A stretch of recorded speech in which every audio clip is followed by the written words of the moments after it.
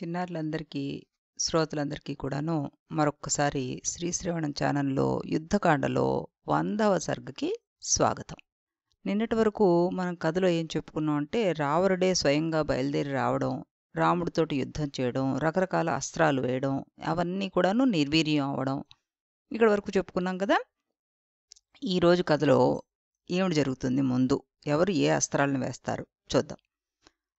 రావణుడు తాను ప్రయోగించిన అస్త్రాలన్నీ వృధా కావడం చూసి చాలా కోపంతో చెలరేగిపోయాట మయుడు నిర్మించిన ఒక గొప్ప అస్త్రాన్ని రావణుడు శ్రీరామచంద్రమూర్తి మీదకి ప్రయోగించాడు. ఆ అస్త్రం నుండి శూలాలు, గదలు, మొసలాళ్ళు దూసుకొచ్చేస్తున్నట్ట. కానీ రాముడు ఆ అస్త్రాన్ని గాంధర్వ అస్త్రంతో ఛేదించేశాడు. రావణుడి కోపం నశాళానికి అంటిందిట. వెంటనే సౌర అస్త్రాన్ని రాముడి మీదకి ప్రయోగించాడు. ఆ అస్త్రం నుండి సూర్యుడు మాదిరిగా వెలుగుతున్న చక్రాలు నలువైపులా దూసుకుపోతున్నాయి. రాముడు ఆ అస్త్రాన్ని తన బాణాలతోటి ఖండించేశాడట. ఇలా కాదని చెప్పి ఇంకా తన బాణాలతోటి రాముణ్ణి మర్మస్థానాలయందు కొట్టాడు రావణుడు. ఆ బాణాలను మధ్యలోనే విరిచి రాముడు కూడా రావణుణ్ణి మర్మస్థానం మీద కొట్టాట ఇంతలో లక్ష్మణుడు ఏడు బాణాలతోటి రావణుడి ధ్వజాన్ని విరిచేశాడు. మరొక బాణంతోటి రావణుణ్ణి విల్లు విరక్కొట్టేశాడు. విభీషణుడు తన గదతోటి రావణుని రథంకి కట్టిన గుర్రాల్ని చంపేశాడు. తన తమ్ముడే ఇలా చేయడం చూసి ఇంక ఓర్చుకోలేకపోయాడాయన. రథం నుండి కిందకు దూకాడు. వజ్రాయుధంతో సమానమైన శక్తి గల శక్తి అనే ఒక అస్త్రాన్ని విభీషణుడి మీదకి ప్రయోగించాడు. కానీ లక్ష్మణుడు ఏం చేశాడు? ఆ అస్త్రాన్ని విభీషణ్ణి చేరకముందే మధ్యలోనే తుంచేశాడు. తర్వాత రావణుడు యముడు కూడా భయపడే ఒక మహాశక్తి బాణాన్ని తీసుకున్నాడు. ఆ శక్తి బాణం రావణుని చేతిలో అగ్నికణాలు విరజిమ్ముతూ ఉందిట. రావణుడు ఆ అస్త్రాన్ని విభీషణుడి మీదకి విడిచిపెట్టకముందే లక్ష్మణుడు రావణుని చేతిని తన బాణాలతోటి కొట్టేశాడు. రావణుడు ఆ శక్తిని సంధించలేకపోయాట అసలు ఇంక విభీషణ్ణి చంపే కార్యక్రమాన్ని విరమించుకున్నాడు రావణుడు. రావణుడు లక్ష్మణుని మీద పడ్డట్టు ఈసారి. లక్ష్మణుడితోటి ఇలా అన్నాడు. ఓ లక్ష్మణ నీవు ఈ మహాశక్తి నుండి విభీషణ్ణైతే రక్షించావు. కానీ ఈ శక్తిని నీ మీదకు వదులుతున్నానిప్పుడు. ఈ శక్తి నిన్ను చంపి నన్ను చేరుతుంది. చేతనైతే నిన్ను నువ్వు రక్షించుకో అంటూ ఆ మహాశక్తిని లక్ష్మణుని మీదకి ప్రయోగించాడు. వజ్రాయుధంతో సమానమైన ఆ శక్తి లక్ష్మణుని వైపుకి మహావేగంతో దూసుకు వచ్చేస్తోంది. ఆ శక్తి సరాసరి వచ్చి లక్ష్మణుని వక్షస్థలంలో దిగబడిపోయింది. లక్ష్మణుడు నేల మీద పడిపోయి మూర్చిపోయాట అది చూసిన రాముడికి కోపం మిన్నుముట్టింది. ఒక పక్క లక్ష్మణుని పరిస్థితికి శోకం, మరొక పక్క రావణుని మీద కోపం ఒకేసారి వచ్చాయి. రాముడు తమాయించుకున్నాడు. ఇది దుఃఖించడానికి సమయం కాదు. ముందు రావణ్ణి ఆపాలి అనుకున్నట్ట. లక్ష్మణుని గుండెలోకి దిగిన శక్తి బాణాన్ని బయటికి లాగాలి అని అనుకున్నాడు రాముడు. అది వారి వల్ల కాలేదు. అప్పటికే వానర యోధుల శరీరం నిండా బాణాలు దిగబడి ఉన్నాయి. రావణుడు ప్రయోగించిన శక్తి లక్ష్మణుని గుండెల్లోకి దూసుకుని కింద నేల మీదకి దిగబడిపోయిందిట. అది చూసిన రావణుడు విపరీతమైన కోపం తెచ్చుకున్నాడు కదా! రెండు చేతులతోటి దాన్ని బలంగా లాగాట. లక్ష్మణుడి శరీరం నుండి శక్తి బాణం అయితే ఊడొచ్చేసింది. దాన్ని రెండు ముక్కలుగా విరిచేశాడాయన. రాముడు లక్ష్మణుడి శరీరంలో నుండి శక్తి బాణం లాగుతుండగా అదే సమయానికి రావణుడు శ్రీరామచంద్రమూర్తి మర్మస్థానాల మీద శరప్రయోగం చేసేశాడు. కానీ రాముడు వాటిని వేటిని లెక్క చేయలేట. సుగ్రీవుణ్ణి, హనుమంతుని చూసి ఇలా అన్నట్ట. మీరు లక్ష్మణుని చుట్టూ నిలిచి ఆయన రక్షిస్తూ ఉండండి. నేను రావణుడితోటి యుద్ధం చేస్తాను. ఇంకా కొద్దిసేపట్లో ఈ భూమి మీద రాముడో, రావణుడో ఎవరో ఒకరే ఉంటారు. ఇది సత్యం. నా గురించి మీకు తెలుసు. రాజ్యం పోగొట్టుకున్నాడు. అడవుల్లో తిరుగుతున్నాను. భార్యను పోగొట్టుకున్నాను. ఇంతకంటే దుఃఖం ఇంకేమైనా ఉంటుందా? ఇప్పుడు రావణ్ణి సంహరించి ఆ దుఃఖాన్ని పోగొట్టుకుంటాను అన్నాడు.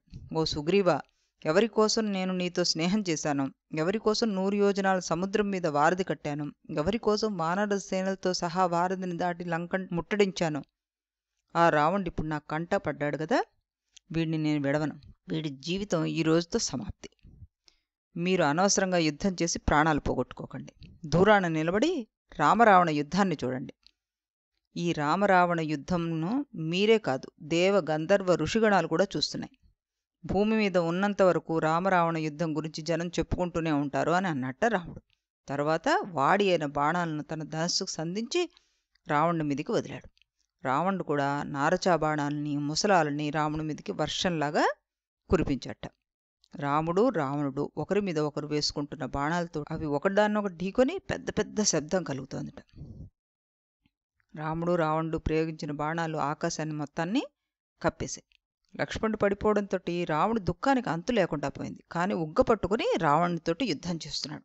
ఒక పక్క రావణుని మీద బాణాలు సంధిస్తూ హనుమంతుడిని సుషేణ్ణి పిలిచి అన్నట్ట నా తమ్ముడు లక్ష్మణుడు నేల మీద పడి ఎలా కొట్టుకుంటున్నాడో చూడండి. వాడిని చూస్తుంటే నాకు దుఃఖం ఆగడం లేదు. లక్ష్మణుడు నా ప్రాణానికి ప్రాణం. లక్ష్మణుని ఈ స్థితిలో చూస్తూ నేను యుద్ధం చేయలేను. నా తమ్ముడు మరణించిన తర్వాత నేను రావణునితోటి యుద్ధం చేసి ఏం ప్రయోజనం?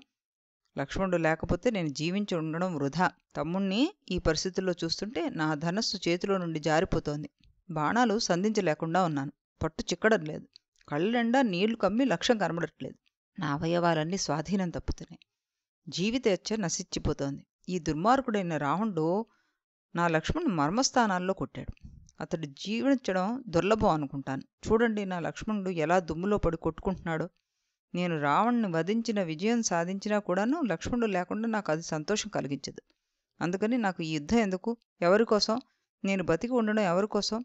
లక్ష్మణుడు చచ్చినట్టుగా భూమి మీద పడు ఉంటే నేను ఎలా యుద్ధం చేయగలను? నేను అరణ్యాలకు వెళ్తుంటే లక్ష్మణుడు ఎలా నా వెంట వచ్చాడో అలాగే నేను కూడా లక్ష్మణుని వెంట యమలోకానికి వెళ్తాను. ధర్మయుద్ధం చేస్తున్న లక్ష్మణ్ణి కపట యుద్ధంతో శత్రువులు పడగొట్టారు. భార్యలు బంధువులు ఎక్కడైనా ఎంతమంది అయినా దొరుకుతారు కానీ లక్ష్మణుడు వంటి సోదరుడు దొరకడం కష్టం. లక్ష్మణుడు లేకుండా నేను ఒంటరిగా అయోధ్యకు వెళ్ళి సుమిత్రకి ఏం సమాధానం చెప్పాలి? నా కుమారుణ్ణి ఏం చేశావు? అని సుమిత్ర నన్ను నిందిస్తే నేను ఏమనాలి? లక్ష్మణునితోటి కూడా అరణ్యాలకు వెళ్ళినవాడు అతను లేకుండా ఎందుకు తిరిగి వచ్చావు? అని భరతుడు శత్రుఘ్నుడు అడిగితే ఏం సమాధానం చెప్పాలి? తల్లుల చేత సోదరుల చేత నిందింపబడ్డ కన్నా ఇక్కడ చావడం మంచిది. నా తమ్ముడు ఈ విధంగా శవంలా పడి ఉండగా చూడ్డానికి నేను ముందు జన్మంలో ఏం పాపం చేశానో కదా?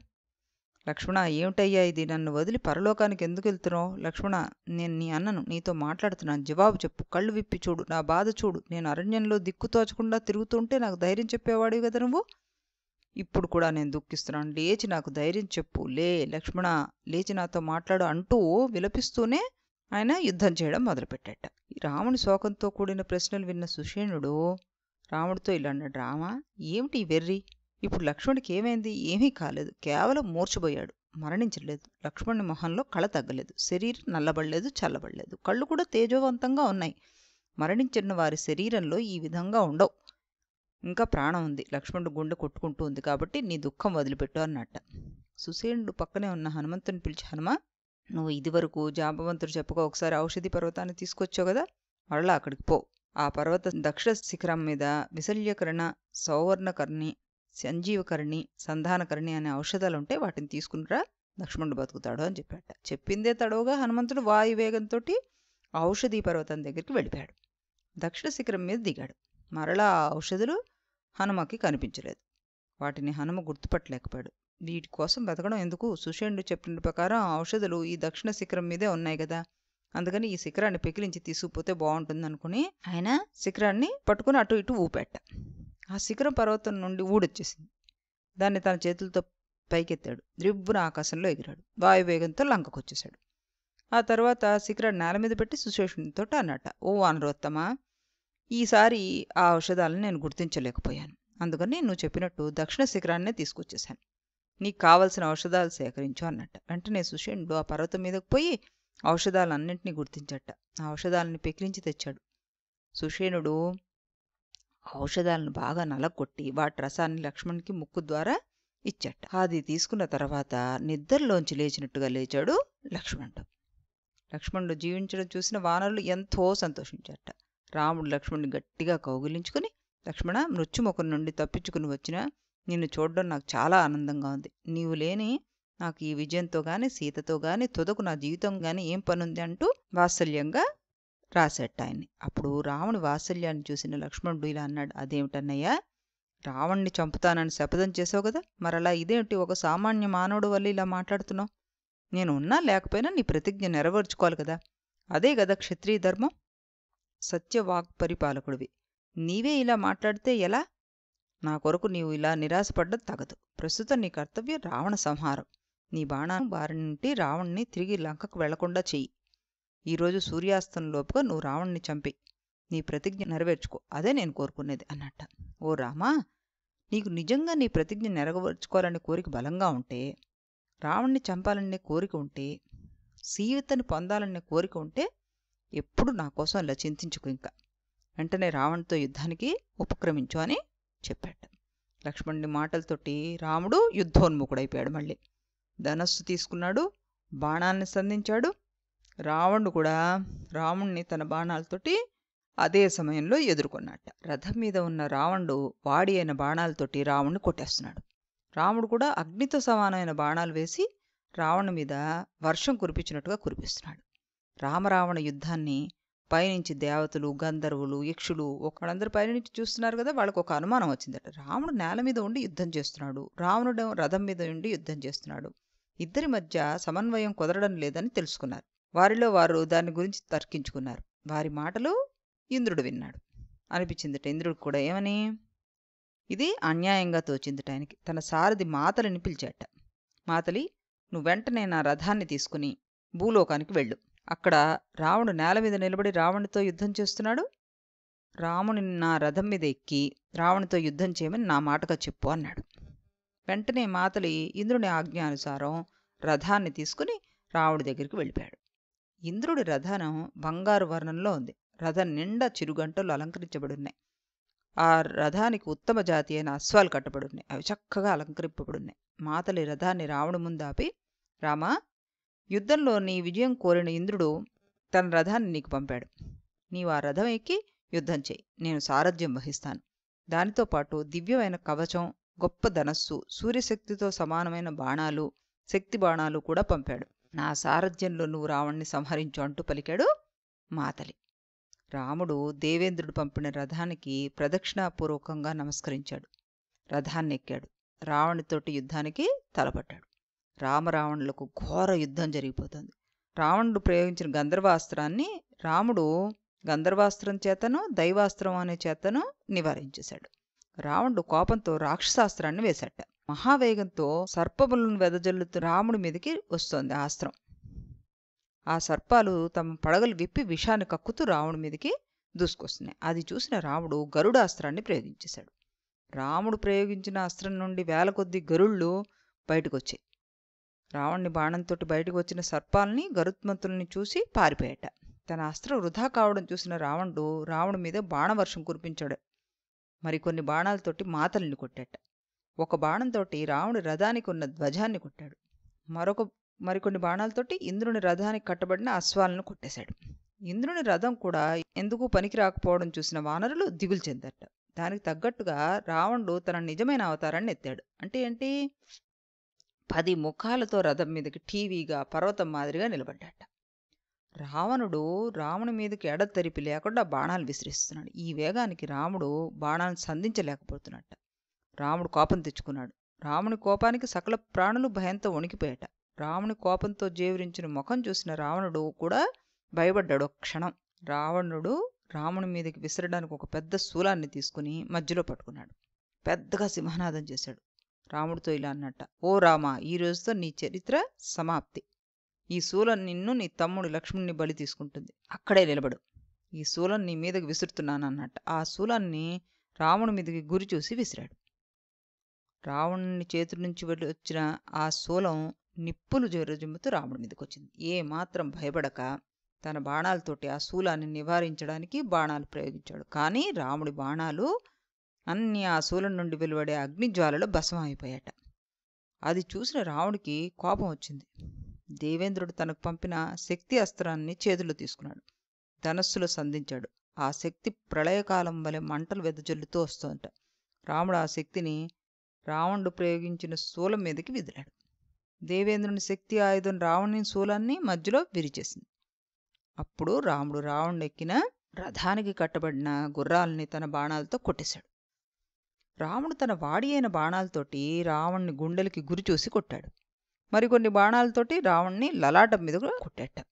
రావణ శరీరం నిండా రక్తం కారిపోతుంది కోపము అలసట రెండూ ఒకేసారి కలిగాయి ఆయనకి. అలసట కలిగిన రావణుడు ఊరుకోలేదే. రావణు మీదకి బాణవర్షం కురిపిస్తూనే ఉన్నట్ట. కోపంతో దహించుకుపోతున్నాడు ఆయన. రావణుడు వేసిన బాణాలన్నింటినీ రావణుడు తన బాణాలతో కొట్టేస్తున్నాడు. రావణ్ణి బాణాలు రాముడి వక్షస్థలానికి గురిపెట్టి వేల కొద్దీ విసిరేస్తున్నట్ట. రావణ శరీరం నుండి రక్తం ధారగా ప్రవహిస్తుంది. రాముడు కూడా రావణ్ణి మర్మస్థానాలకు గురి చూసి బాణాలను ప్రయోగం చేశాడు. ఈ ప్రకారంగా రాముడు రావణుడు ఒకరి మీద ఒకరు విపరీతమైన బాణాలు వేసుకుంటున్నారు. ఓరి రాక్షస! నువ్వు ఒక మగాడివేనా? నీది ఒక పౌరుషమేనా? భర్త ఇంటలేని సమయంలో భార్యను అపహరించుకుని తేవడం పరాక్రమమా? ఇతరుల భార్యలను అపహరించి తేవడం సూరత్వమా? రక్షణ లేని స్త్రీలను వీరులను తాకరు? కానీ నువ్వు దానికి పాల్పడ్డావు. అది నీచులు చేసే పని. కానీ అదేదో ఘనకార్యం సూరత్వం అనుకుంటున్నావు. సిగ్గు లేకుండా ఇంకా యుద్ధానికి వచ్చావా? వీరులు వీరగతిని పొందుతారు. కానీ నీకు నీచమైన మరణాన్ని రాసిపెట్టి ఉంది. అనుభవించు. నువ్వు కుబేరుడు సోదరుడు ఎన్నో యజ్ఞాలు యాగాలు చేసావు. తపస్సులు చేసావు. సాటి వారిలో గొప్ప యశస్సుని సాధించావు నువ్వు. కానీ ఏం లాభం? ఈ కీర్తి అంతా నువ్వు చేసిన ఒక్క పాడు పనితో పటాపంచలైపోయింది. నువ్వు చేసిన దుర్మార్గానికి తగిన ఫలితం ఇప్పుడే అనుభవిస్తావు. మగవారు ఇంటలేని సమయంలో దొంగ ఇంట్లో దూరి పరుల బారిని అపహరించడం సూరత్వం అనుకుంటున్నావా? ఆ పని చేయడానికి నీకు సిగ్గు వేయడం లేదు. ఆ సమయంలో నేను ఆశ్రమంలో ఉంటే అప్పుడు నిన్ను నీ సోదరుడు కరుడు వద్దకు పంపుండేవాణ్ణి. ఆ రోజు తప్పించుకున్నావు. ఈరోజు నా కంటపడ్డావు. నిన్ను వదలను. నా వాడి అయిన బాణాలతోటి నిన్ను యమపురికి పంపుతాను. ఈరోజు రాత్రి నీ శిరస్సుతోటి క్రూరమృగాలు విందు చేసుకుంటాయి అంటూ శరవర్షం కురిపించేసట రావణుడి మీద. రాముడు రావణుడి మీద తనకు మనసులో స్ఫురించిన అన్ని అస్త్రాలను ప్రయోగించాడు. రాముడు ఇలా అస్త్రాలు ప్రయోగిస్తుంటే వానరుడు రాళ్ళతోనూ వృక్షాలతోనూ రావణ్ణి మోదేస్తున్నట్ట. రావణుడికి అసలు ఊపిరి ఆడడం లేదు. రాముని మాటలతో సగం చచ్చిపోయాడు. ధనస్సు సంధించలేకపోతున్నాడు. అతని మనసు బాగా వ్యాకులం అయిపోయింది. రావణ్ణి పరిస్థితిని చూశాడు సారథి. రథాన్ని మెల్లిగా యుద్ధభూమి నుండి అవతల వైపుకి తీసుకువెళ్ళిపోయాడు. రావణుని రథం యుద్ధభూమిని విడిచిపెట్టి లంకానగరం వైపు వెళ్ళిపోయిందిట. ఏం జరుగుతుందో రావణుడికి తెలియట్లేదు. మరి రేపు యుద్ధభూమి నుండి రావణుడు తిరిగి వెళ్ళగలడా? ఇలాగే అసలు రేపు యుద్ధభూమికి వస్తాడా? ఇది మనం వచ్చే ఎపిసోడ్లో తెలుసుకుందాం. ఆదిత్యం ప్రేక్ష జప్త్వాదు పరం हर्षमाप्तवान्। त्रिराजं यशुचिर्भूत्वा धन्व्रादाय वीर्यवान्। रावणं प्रेक्ष्य हृष्टात्मा युद्धाय समुपागमत्। सर्वयत्नेन महतावधे तस्य धृतो भव